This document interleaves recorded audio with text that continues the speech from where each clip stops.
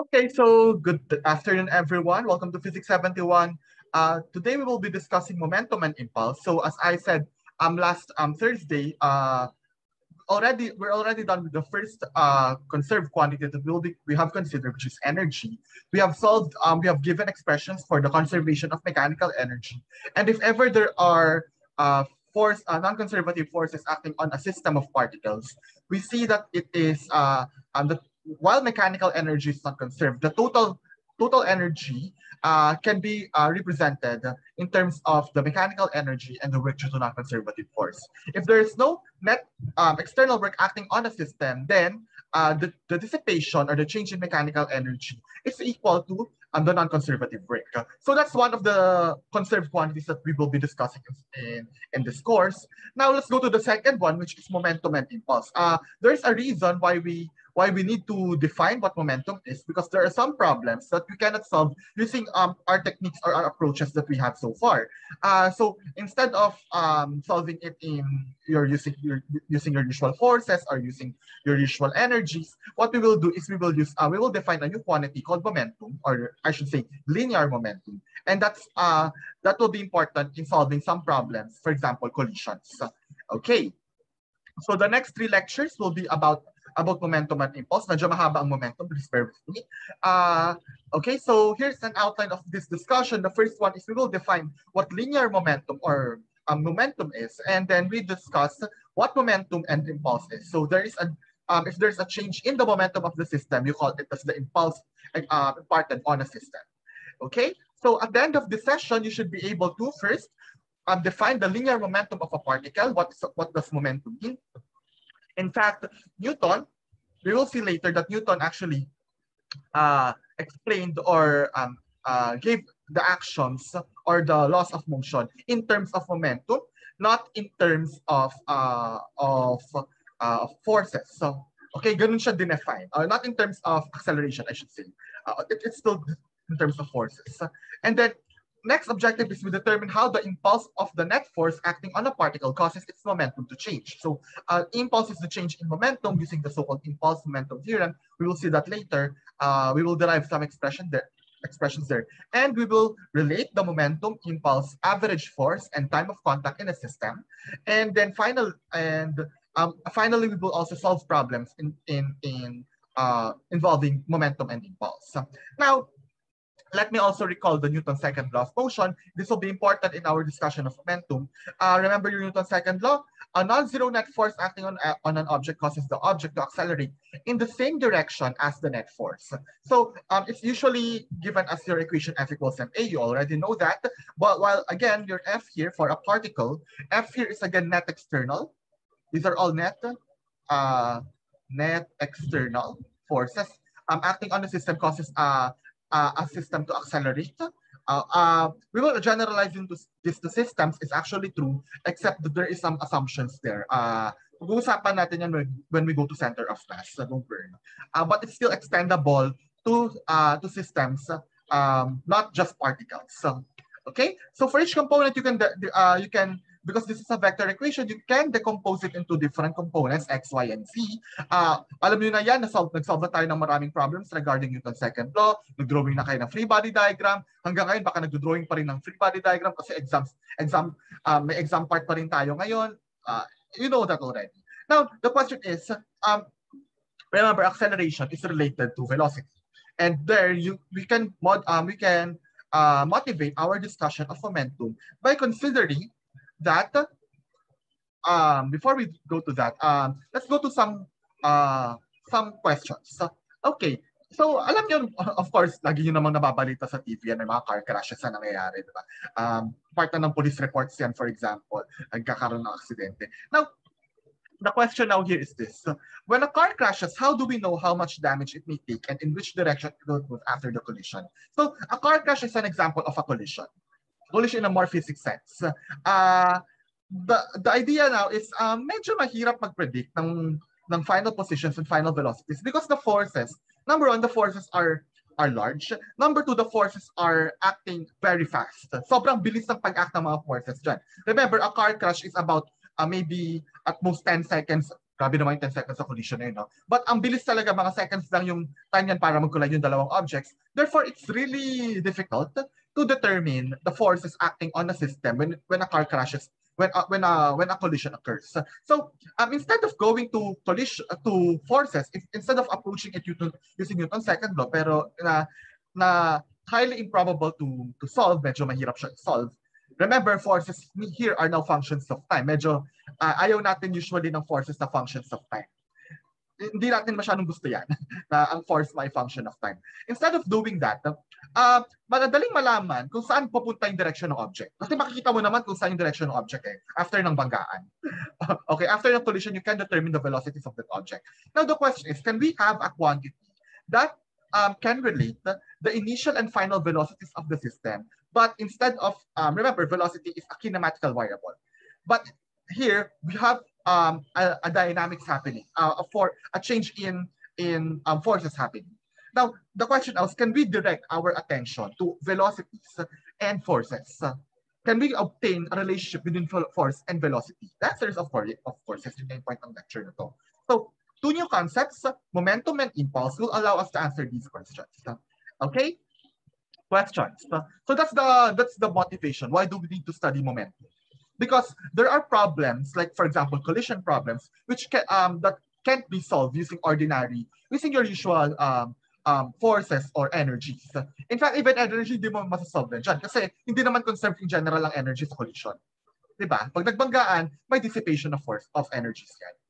Diba? And the forces involved are in general non-conservative because they are functions of time. Not necessarily there are explicit functions of time. Um, uh, hindi siya function of position. Okay? Questions? May tanong ba? May tanong? Are there any questions? None? Okay, I hope this is clear. Okay, now let's go to linear momentum. Okay, now, as I said, your F equals MA, you can be written, um, if M is constant, in general, M is not constant, but we will not deal with that into that when we go uh, in Physics 71. Uh, there, are, there is a section in Young and Freedman about um, rocket propulsion, but and um, um, systems with continuously varying mass. We won't do that in this course for now. oras. So, um, assuming that the mass is constant, we got, of course, your Newton's second law. But your acceleration can be written in terms of velocity. Remember, acceleration, or I should say instantaneous acceleration, is just the time derivative of their velocity function. So, ganyan itsura niya, di ba? Now, and since mass is constant in this in this case, you can place your mass into that um, into that de derivative and say that okay, um, I have an f uh, a net external force is equal to the time derivative of some product m times v vector, and that m times v vector is what we will define as our linear momentum. mv is the linear momentum defined by p. Okay, p vector is the linear momentum. Okay, questions? May tanong dito? Ang ginawa lang, pinasok lang yung um, m sa derivative because it is a function. Uh, it is, uh, sorry, it is a constant. sa bawa ko. It is a constant. Okay? Clear ba? Clear? I hope this is clear. Okay, let's define what momentum is. So, so linear momentum. Linear momentum P equals mv. Um, P is again is a vector quantity. Uh, so you will see here that um, m here is always always positive. Wala namang negative na mass, di ba? Okay, so one thing that you can explain here is that P is um, parallel to V. So um, the momentum of a particle is parallel to its velocity. So it's also the measure of the quantity of motion. And uh, we will see in the next few slides that it's actually the term used by Newton in this book. It's the measure of the quantity of motion.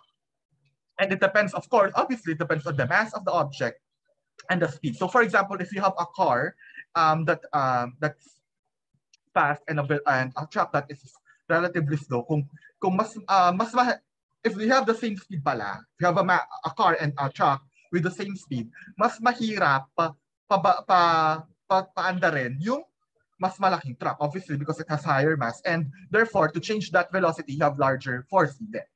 Okay? Mas malaking, mas mahirap pag pagganahin yung or paanda rin yung isang mas, mala, mas malaking object because it has higher mass.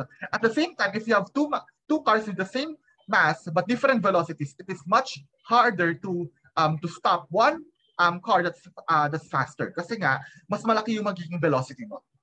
Okay? It has something to do with the linear momentum of the object. Kaya siya tinatawag na quantity of motion or inertia and motion.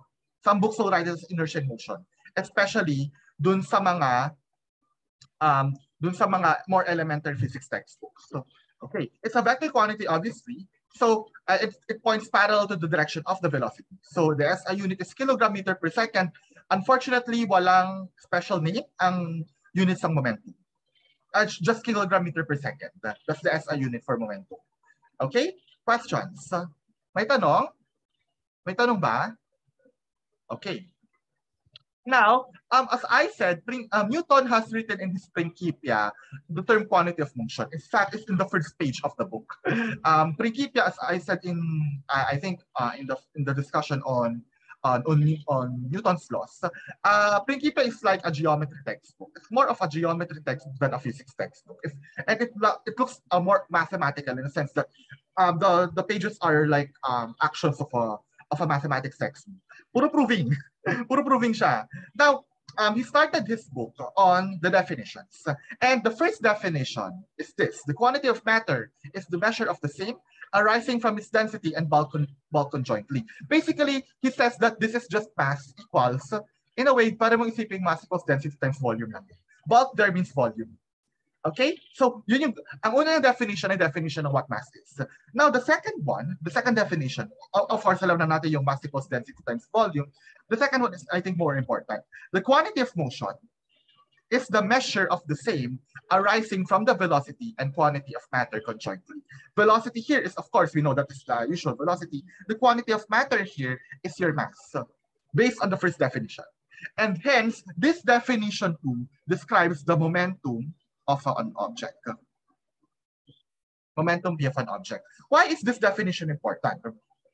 This definition is, important because we will see in page 13 and 14, which um, in the next slides, that the laws of motion are expressed, in fact, in terms of the quantity of motion. So, for example, law 1, pakita ko lang sa inyo for completion, everybody continues in its state of rest or of uniform motion in a right line. Right line means in straight line, unless it is compelled to change that state by forces impressed upon it. So, this is basically your law of inertia, um, written in a language um, um, that's translated from Latin. Remember, Principia is in, written in Latin. Uh, uh, by, I forgot sino nag-translate ito. Uh, but the point here is, this is how it's originally written. And now the second one, this is more important, the, the second law, the second law or the um, law of acceleration, the change of motion is proportional to the motive force impressed, and it is made in the direction of the line, right line in which that force is impressed. What again, you have, you have change in motion is proportional to the motive force. Motive force, sir, is the net external force acting on the system. Whereas, what's the change in motion? According to definition two of written in page one of the of the book, that's basically your momentum. Hence, we have this equation, F is dp dt. So instead of writing Newton's principia in terms of accelerations, it's written in terms of linear momentum. Yun yung gusto kong sabihin. Okay? Gets ba? Gets ba? Nakuha? Ah, I hope this is clear. Clear naman? Okay, I hope this is clear. Okay. Now, we have third law, just for completion, I'll just express um, what third law is. Of course, you know this already.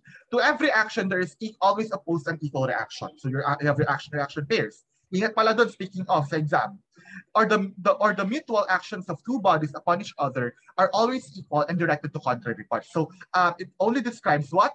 Um, an action-to-action force. So they are equal in magnitude but opposite in direction in more modern terms. in more modern language, basically, yun lang sinasabi na itong third law. Um, gusto ko lang pakita dito, ba't ko pinakita ngayon to, is that, again, um, Newton's second law is not written originally in terms of acceleration. It is written originally in terms of momentum. Okay? Sige. Questions? May tanong ba? May tanong? Wala? Wala. Okay.